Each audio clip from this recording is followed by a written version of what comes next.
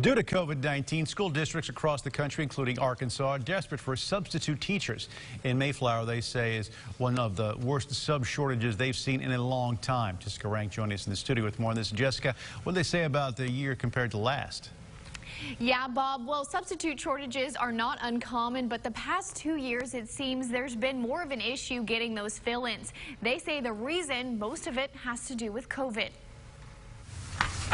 It's the one time during the school day where this classroom sits empty. No students in chairs or writing on the whiteboard. I need my prep time.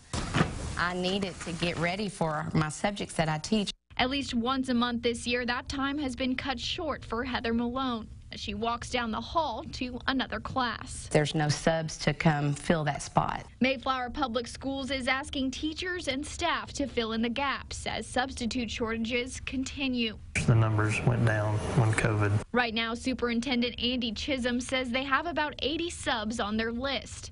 But with other school districts in the mix, they're not always picking from double digits. While there may be 80 people on that list, some of them may be in North Little Rock or Conway or Vilonia. For a small school district like Mayflower, Chisholm says sometimes subs will go where the money is. It's not in the budget for us to, to, to pay more right now.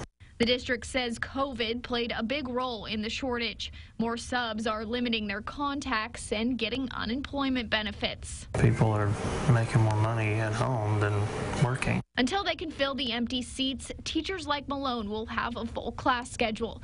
But she says she's always happy. We care about each other. To lend a hand. Now, the superintendent says in some cases they're reaching out to family, friends, and even former teachers to apply for those positions. Live in studio, I'm Jessica Rank for KARK 4 News.